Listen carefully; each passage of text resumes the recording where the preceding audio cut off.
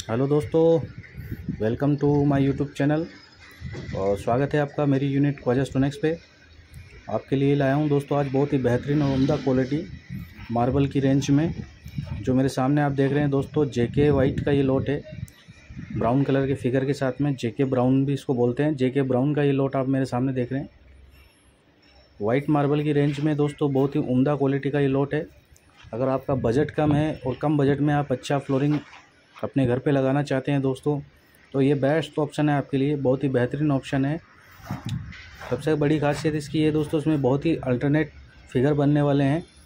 White के साथ में ग्रीन और ब्राउन के बहुत ही शानदार कॉम्बिनेशन के साथ में ये मटेरियल आता है।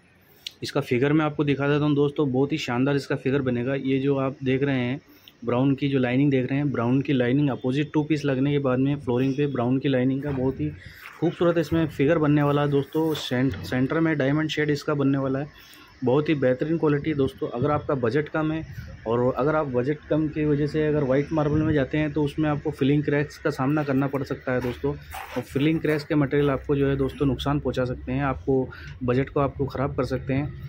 और इसका मैं आपको पास से इसका क्रिस्टल दिखा रहा हूँ दोस्तों। ब्राउन और ग्रीन का जो शानदार वाइट के साथ में कॉम्बिनेशन है, बहुत ही सुंदर और बेहतरीन। ये टू पीस हमारे पॉलिश किए गए हैं।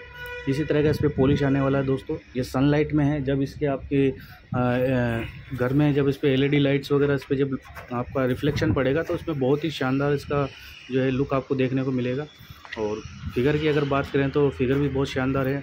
मटेरियल स्ट्रॉन्ग हार्ड मटेरियल है दोस्तों। और लॉन्ग लाइफ मटेरियल है।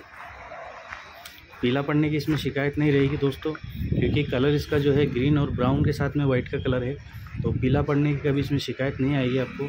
और डस्टी कलर है दोस्तों, ज़्यादा साफ़ सफ़ाई की भी आपको ज़रूरत नहीं पड़ेगी। और बहुत ही खूबसूरत है दोस्तों, सबसे बड़ी खासियत इसकी जो इसमें जो फिगर जो आप देख रहे हैं सेंटर में आपको एक, बिल्कुल पेंसिल लाइनिंग की तरह फिगर दिख रहा है। ये बिल्कुल बारीक पेंसिल लाइनिंग इसमें जा रही है। लाइनिंग से लाइनिंग मिलकर बहुत ही शानदार इसका फ्लोरिंग बनने वाला सीढ़ियों पर भी इसको आप अप्लाई कर सकते हैं फ्लोरिंग पे आप इसको यूज़ कर सकते हैं। थिकनेस की अगर बात करें तो दोस्तों, चौदह से पंद्रह एम थिकनेस में अवेलेबल है। तो विज़िट कीजिए दोस्तों कॉल कीजिए डिस्क्रिप्शन में हमारा नंबर है और परचेज़ कीजिए। धन्यवाद।